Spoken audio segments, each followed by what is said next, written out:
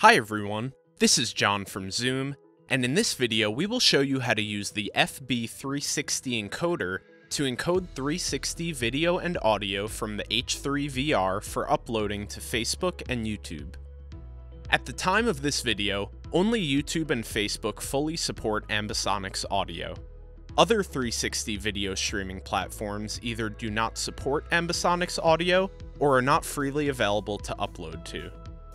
You can use the FB360 encoder in the Facebook 360 Spatial Workstation to mux the audio from the H3VR and your 360 video, then export a file that you can upload to different video streaming platforms.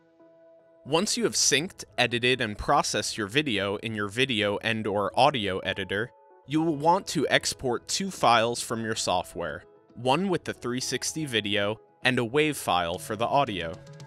Make sure to follow the recommended 360 video specifications for the service you want to upload to.